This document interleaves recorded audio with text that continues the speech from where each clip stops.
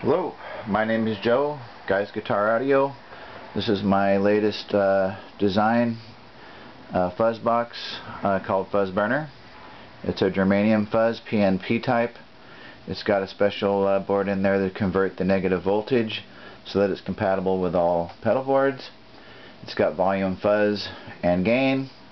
Uh, this is just my first uh, prototype if you will. There's others out there but I'm finally doing a demo for it. I hope it's in the picture. Um, it can do a pretty good clean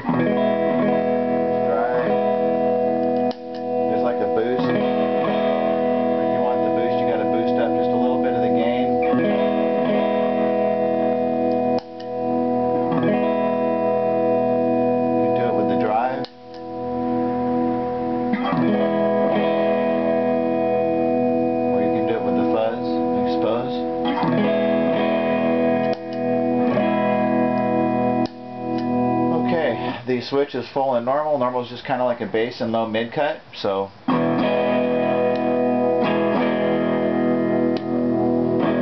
Really is handy when the amps are playing at stage volume. Uh, fuzz is up and everything else, so it helps give that little bit more definition and clarity when you so need. Um, it also does that when you roll back the guitar volume when you're in a good fuzz situation. So if I just hit the drive right now,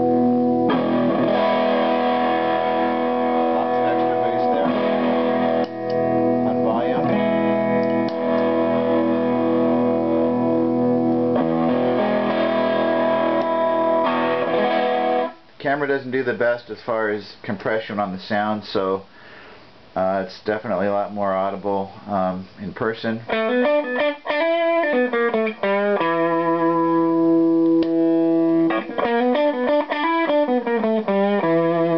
So you do get a little bit extra volume with it, just uh,